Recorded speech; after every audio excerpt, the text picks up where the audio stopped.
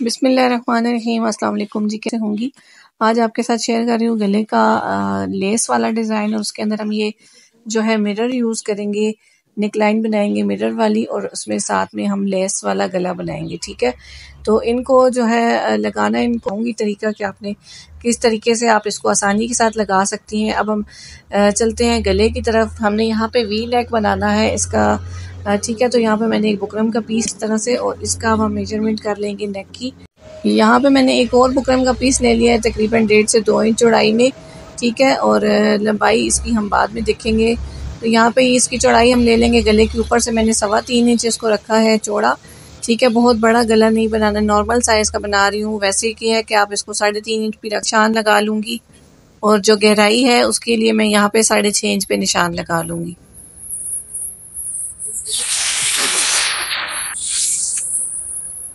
तो यहाँ पे मैंने गहराई और चौड़ाई पे निशान लगा लिया अब हम इसको आराम से इसको इस तरह से ड्रा कर लेंगे। बिल्कुल वी शेप में नहीं बनाना थोड़ा सा हल्का सा इसको राउंड वी में इस तरह से करना है। इस तरह से आपने अच्छे से ड्रा कर लेना है। जिधर से आपकी शेप ठीक आ जाए तो आप साइड पे तकरीबन एक इंच का मार्जिन दे के मैंने एक और लाइन ड्रा कर ली और इस तरह से आउटसाइड की भी कटिंग कर लेंगे।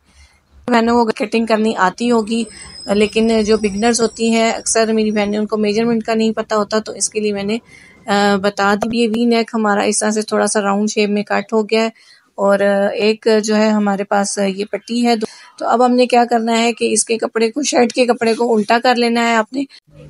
अब यहाँ पे जो है जो गला आपने वी वाला कट किया है ना, उसको आपने यहाँ पे रख के इसका साइज़ कर लेना है कि ये कहाँ तक आ रहा है, गले की गहराई कहाँ तक आ रही है। ये देखिए, यहाँ पे हमारा गले की गहराई आ रही है। इससे ऊपर हमने तकरीबन एक इंच या एक निशान लगा लिया। वहाँ से हमने ये वाली बुकरम की पट्टी रखनी है और उसको जो लंबाई है वो तकरीबन जितनी हमारी आ, स्लिट वाले गले की लंबाई होती है आप जितना भी रखती हैं सत्रह इंच में मैंने लगा लिया है सोलह सत्रह इंच ही होती है। अगर आपकी ज़्यादा लंबी कमीज़ है तो आप इसको एक दो इंच लंबा भी कर सकती हैं। अब हम इसको पेस्ट कर लेंगे ठीक है? इस पट्टी को मैंने एक्स्ट्रा कपड़े के ऊपर पेस्ट कर लिया है इस तरह से ठीक है? तो ये वी नेक मैंने अलग कपड़े के ऊपर पेस्ट कर लिया और जो पट्टी है वो डायरेक्ट मैंने शर्ट के ऊपर ही पेस्ट कर लिया है सेंटर में। तो अब हम सिंपल जो है गले को पहले अटैच कर लेंगे इस तरह से। बुकरम के साथ साथ आपने सिलाई लगानी है और गले को अटैच कर लेना है। बिल्कुल बुकरम के ऊपर आपकी सिलाई नहीं आनी चाहिए, सेंटर बिल्कुल इसके बुकरम के साथ साथ आनी चाहिए, ठीक है? अब यहाँ पे ये जोड़ आता है हमारे गले में। अक्सर हमने बीच में जोड़ लगा के ऊपर बुकरम पेस्ट करनी होती है। तो उसके लिए आपने अगर वी नेक बना रही हैं तो सेंटर में आपने जोड़ नहीं लगाना। इस तरीके से आपने जोड़ लगाना है, ठीक है? वरना फिर वी के अंदर आपका जो है कपड़ा बहुत ही मोटा हो जाता है, अगर वी में हमारा आ रहा हो। अब हम इसकी कटिंग कर लेंगे। इस दौरान अगर आप चैनल पर न्यू हैं तो जल्दी से चैनल को सब्सक्राइब कर लें बेल आइकन को प्रेस कर लें, ताकि मेरी नई आने वाली वीडियो की नोटिफिकेशन आपको मिलती रहे। तो यहाँ पे हम डीप कट्स इस तरह से छोटे छोटे लगा लेंगे थोड़े थोड़े फासले के ऊपर, ताकि हमारे गले की जो शेप है, वो अच्छे से मुड़ के आ जाए, ठीक है? तो अब हमें और अच्छे से प्रेस कर लेंगे।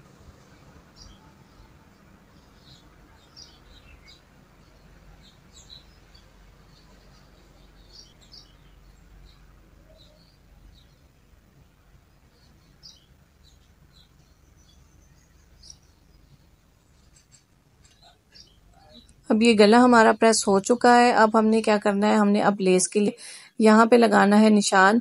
जो भी बिगनर्स है, मेरी बहनें, मुश्किल होती है या लेस टेढ़ी हो जाती है या इस तरीके से जब आप ऊपर सिंपल गोल या इस तरह वी बना के जब आप लेस नीचे तक लेके आती हैं तो फिर अक्सर टेढ़ी हो जाती है। तो उसके लिए मैं आपको बताऊँगी कि किस तरह आपने लेस लगानी अब यहाँ पे सेंटर में मैंने मिरर लगाने हैं तो मैंने मिरर सेंटर में रखे हैं ताकि हमें पता चले कि इनकी चौड़ाई जो है वो, जो इनके लिए हमें स्पेस चाहिए, वो कितनी चाहिए। ठीक है यहाँ पे हम इस तरह से, इनके साथ साथ इस तरह से लाइन ड्रॉ कर लेंगे जितने हमारे जो है जितनी स्पेस में हमारे मिरर आ रहे हैं, इस तरह से उनका हमने साइज़ ले लिया और अब दोनों साइडों में हम इस तरह से लाइन ड्रॉ कर लेंगे। बुकरम की पट्टी नीचे हमने जो लगाई है, उसके साथ हमें ये आसानी हो जाएगी। जब हम लेस लगाएँगे तो उसके साथ हमारा खिंचाव नहीं आएगा और मिरर भी हमारे बहुत आसानी के साथ लग जाएँगे, वरना अगर आप इसको ऐसे ही डायरेक्ट कपड़े के ऊपर लगाएँगी तो कपड़े के ऊपर काफ़ी खिंचाव आ जाता है लेस सिलने के बाद भी और जब आप मिरर लगाएँगी तो उसके बाद भी आपका खिंचाव आ जाता है, ठीक है? तो कोई सा भी आप इस तरह से बटन लगा रही है मिरर लगा रही है, कोई भी नेकलाइन बना रही है तो इस तरह से आप नीचे बुकरम की पट्टी लगा लें, चाहे तो ज़ीरो की बुकरम लगा लें। और इसके साथ ऊपर जिधर जिधर अब आपने लैस लैस लगानी है, इस तरह से आपने लाइन ड्रॉ कर लेनी है, ठीक है? अब ऊपर भी मैंने जो स्पेस देनी थी, दोनों साइडों से एक जैसी दे और यहाँ पर मैंने अब लाइन ड्रॉ कर ली है। और सेंटर में मिरर की स्पेस छोड़ के और इस तरह से दोनों साइडों पर मैंने लाइन ड्रॉ कर तो ये बिगनर्स के लिए बहुत ही जो है यूज़ तरीका है, इस तरीके से आपकी लेस बहुत आसानी के साथ और सफ़ाई के साथ लग जाएगी। तो अब हम यहाँ पे लेस अटैच करेंगे। लेस अटैच वाला धागा भी चेंज कर लेना है, लेस के कलर का लगा लेना है, ठीक है? तो ये छोटी छोटी बातें जो है, बताना इसलिए ज़रूरी होता है कि जो बिल्कुल न्यू होती हैं, जो सीखने के उसमें होती हैं, उनको ये छोटी छोटी बातें उनके लिए बहुत अहम होती हैं, बतानी और बतानी इसीलिए ज़रूरी होती है, क्योंकि जो जानती हैं, वो तो फिर अक्सर यही कमेंट में कर रही होती हैं कि भाई, बहुत ज़्यादा आपने बोल दिया और बहुत बता दिया तो इतना जो है ज़्यादा डिटेल में मत, लेकिन ये सिर्फ़ बिगनर्स के लिए मैं कोशिश करती हूँ कि जो नई सीखने वाली हैं, उनको ताजे अब ये देख ले, बहुत ही आसानी के साथ हमारी लेस लगेगी। बिल्कुल भी खिंचाव नहीं आएगा। अब यहाँ से आप वी बनाना चाहती हैं, वी बना लें। मैं इसको स्क्वायर ही शेप दूँगी नीचे से तो इसको इस तरह ही स्क्वायर शेप दे के मैंने इस तरह से टर्न कर लिया।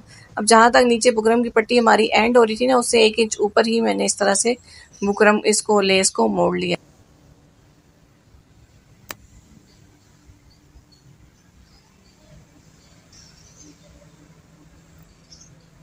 तो बस इसी तरीके से ये जो हमने थी इसके ऊपर ही हम लेस को रख के सिलाई चला लेंगे। बहुत आसानी के साथ हमारी जो है, अपनी शेप में आप यहाँ पे लेस लगाना चाहती हैं, आप उसी शेप में पहले आप लाइन ड्रॉ कर लें उसको और उस लेस लगा लें। आपकी बहुत ही आसानी हो जाएगी।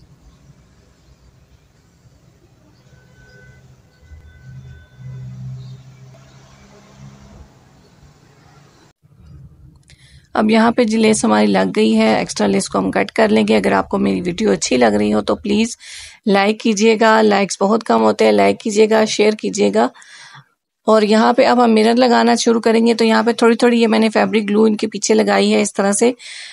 इससे लगाने से ये हो जाएगा कि आपको आइडिया हो जाएगा कि आपने इसकी कितनी स्पेस देनी है। अगर आपने स्पेस दे के लगाने हैं या आपने जोड़ के लगाने हैं तो इस तरह से आपने लगा लेने हैं तो वो हिलेंगी नहीं अपनी जगह से। तो बाद में आपने इसको सुई के साथ भी पक्का करना है, ठीक है? ये नहीं कि आपने बस ग्लू लगा के और खुश हो जाना है कि हमने ये मिरर लगा लिए।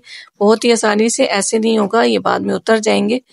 तो आपने क्या करना है कि इनको पहले ग्लू से सेट कर लेना है, लगा के जहाँ जहाँ आपने लगाने हैं, ठीक है? तो इस तरह से मैंने इनको बिल्कुल फिर ना जोड़ के लगा दिया था सबको, ये देखिए इस तरह से। तो ग्लू लगा के आपने सबको इस तरह से सेट कर लेना है और फिर बाद में आपने इनको सुई के साथ जो है ना, आपने जिस जिस कलर कलर का धागा लगा के और उसके किनारों पे आपने इस तरह से छोटे छोटे टांके लगा लेने हैं। तो फिर जो है ना, जितनी दफ़ा भी आप वॉश करेंगे, आपका ये जो है ना बिल्कुल भी नहीं निकलने वाला। और ज़बरदस्त तरीके से आपके पक्का होके ये जो है ना लग जाएँगे।